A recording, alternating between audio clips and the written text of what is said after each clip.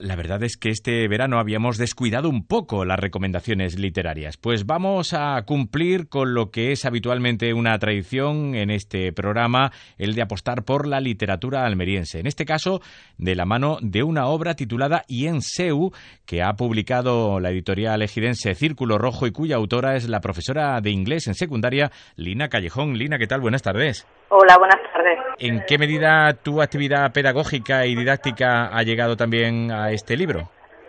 Eh, sí, la verdad es que está bastante influenciada por, por toda la experiencia eh, en el terreno de la educación. Es un libro, bueno, el libro se centra en una historia de aventura y misterio, es el hilo conductor. Sin embargo, mm, hay una serie de recomendaciones relacionadas con, con valores que, pienso que es interesante que los jóvenes se puedan acercar a ellos de una manera más, más amable.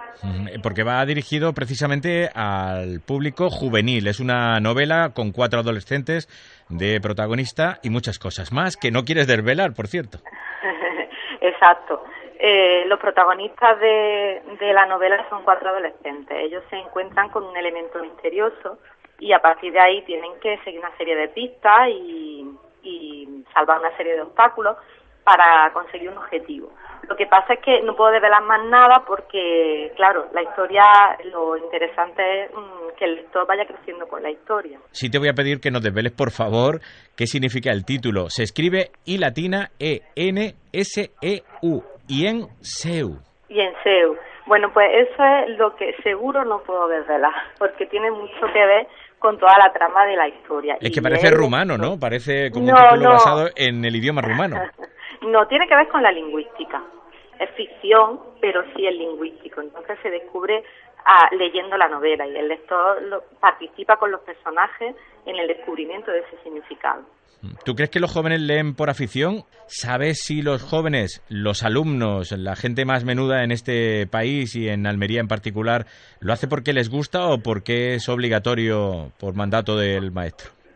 Pues sorprendentemente estoy descubriendo que, que sí lo hacen por afición, cada vez más se aporta una herramienta muy interesante dentro de la educación para motivarlos y, para darle eh, la capacidad ¿no? de, acercarse a la lectura de forma comprensiva y significativa.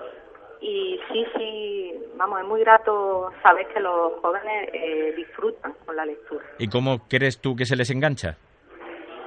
Se le engancha, los jóvenes están llenos de vida, llenos de vitalidad y ávidos de conocimiento y cualquier historia que tenga eh, un elemento de aventura, de misterio, especialmente los, los más jóvenes, eso casi siempre le engancha rápidamente. ¿Y se les engancha con historias contemporáneas o con aquello que ha acontecido hace muchos años, por ejemplo, una recreación de los hechos históricos?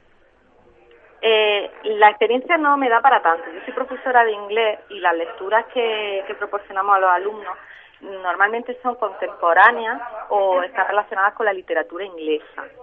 Eh, no, no he percibido una distinción entre eh, lo que le pueda atraer a ellos más. Lo que sí tengo claro es que las historias contemporáneas sí le atraen. Se va a presentar el día 30 de julio, siete y media de la tarde, en la librería Picasso, que es un referente además en Almería Capital. Exactamente, claro que sí. La verdad es que estamos muy ilusionados para, para llevar a cabo esta presentación y, y allí nos veremos. el día 30 en la librería Picasso a las siete y media de la tarde. Como quiera que quedará verano todavía, habrá la oportunidad de echarse un ratico con este libro que seguramente se lee de una tacada, son 130 páginas, 21 capítulos, que al parecer enganchan bien, ¿eh? Sí, está muy cuidado. La, la redacción está muy cuidada en ese aspecto, que, que, no, que sea accesible para los más jóvenes sobre todo. Son 21 capítulos muy cortos y, he intentado sobre todo que la lectura sea fluida. Pues seguro que lo conseguirás. Lina Callejón, autora del libro Seu, muchísimas gracias. Gracias a ti.